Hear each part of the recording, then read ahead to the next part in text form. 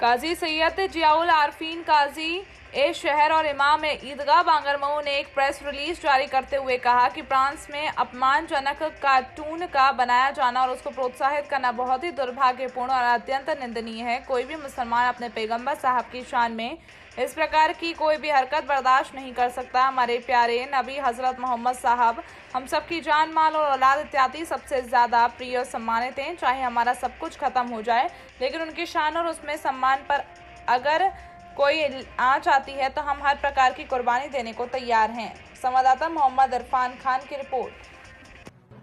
latest news देखने के लिए प्राइम ब्रेकिंग न्यूज़ चैनल को सब्सक्राइब करना ना भूलें और साथ ही डेली अपडेट्स पाने के लिए बेल आइकन